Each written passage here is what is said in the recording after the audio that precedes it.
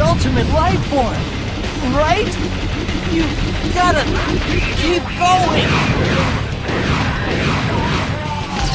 Chaos control. Die with these foolish humans.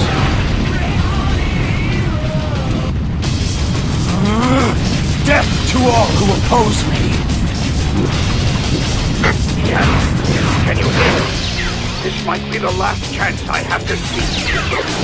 What I said about having created you, it was all a lie. Everyone thought you died during that horrible incident. But I rescued you with one of my robots. You lost your memory, that's all. You really are the ultimate life form my grandfather created.